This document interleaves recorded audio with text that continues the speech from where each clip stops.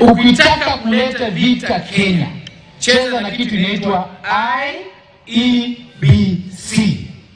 Uchaguzi uliisha, Supreme Court ikasema William Samoei Ruto ndio president of the Republic of Ke- Kenya. Naambia Mheshimiwa William Samoei Ruto, please ita watu wako wa Kenya kwanza. Wewe Raila, ita wajumbe wako wa Azimio, weka hawa wajumbe pamoja, wasiletee shida Kenya. Saa ile mnaanza kusukuma hawa Chebukati anaretire anaenda nyumbani, sio hivyo? Process ya kurudi Chebukati ifanywe kwa njia ya ama- amani. Hawa commissioners wengine walicomplain juu ya uchaguzi, uchaguzi uliisha, is behind us. You two leaders, William Samuel Ruto and Raila, put the IEBC commission together for the confidence ya wananchi. Bure vita itatokea nchi, tutaishi wapi?